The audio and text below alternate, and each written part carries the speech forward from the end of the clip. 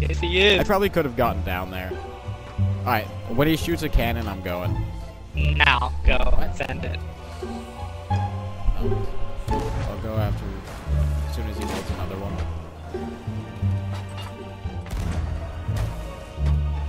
There's no way.